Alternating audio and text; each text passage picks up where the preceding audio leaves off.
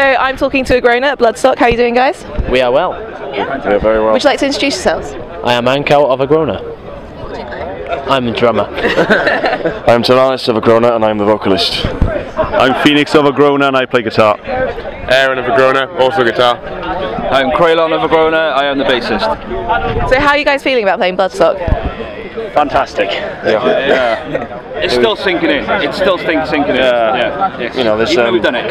Yeah. It feels like when we just like just started to scale the summit of an awesome fucking peak and I was going to go for a mountain climbing analogy, but I'm a little bit blazed from. but either, either way, the elation that we're feeling right now, you know, we're very much on a natural and chemical high, but mostly natural high.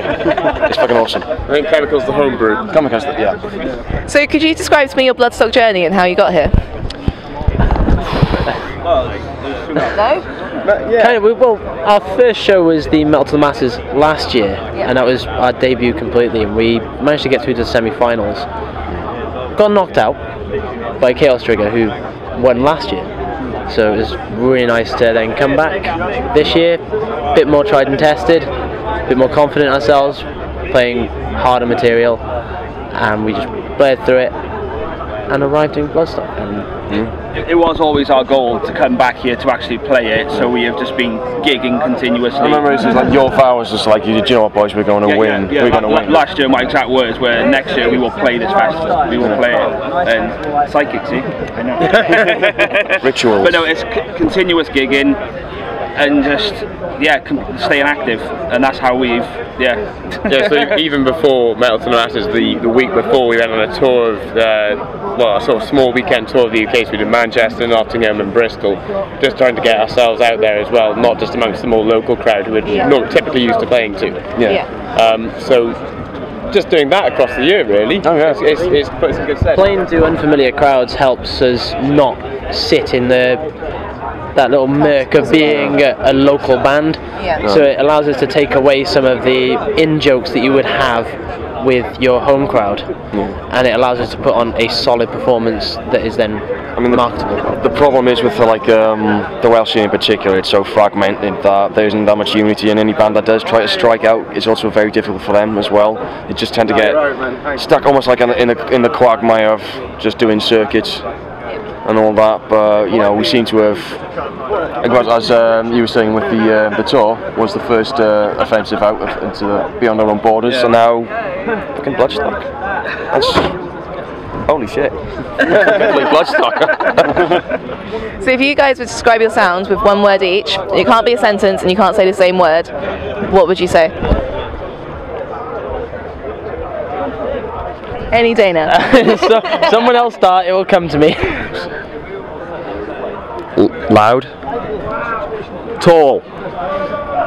Oh, terrifying. What was the question? What word would you, would you describe yourself with? One word. My um, happy. Angry. Fair enough. It is sort of happy angry. I'm not an angry man, you We have the full gamut of emotion here. Essen- essentially, you might as well just uh, say bipolar, and that covers it. yeah, there we go. Schizophrenic. Schizophrenic. Right, this is one question I've been asking every band this weekend. What is your least favourite thing about metal? Um, Elitism. I mean, I would say we're elitists ourselves, but on, Really?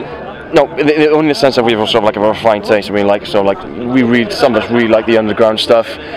But there's the people which have more or less dis- disappeared up their own ass in the sense of, oh, because I have such and such rare vinyl collection, I have brownie points, and I have somehow elevated beyond my own status. And I'm thinking, get back down to your own station, you fool. Normally, those are the kind of people who actually make it to the festivals, though, because they don't appreciate what the live music does for the entire thing. So, at the same time, I don't think that kind of I, I don't think that kind of bad side of metal really finds its way over here.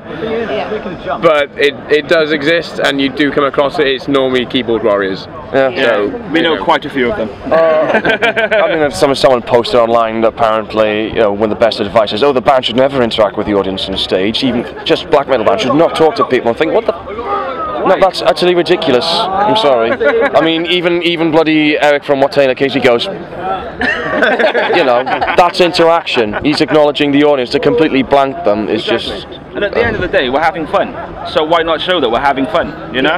It's yeah. Performing to them, not at them. Yeah. That's why it's just a masturbatory experience. Then it's Yeah. just fucking well, self-masturbatory. Well, you know that you know the meaning. Right, do you guys have anything you want to say before we wrap this up?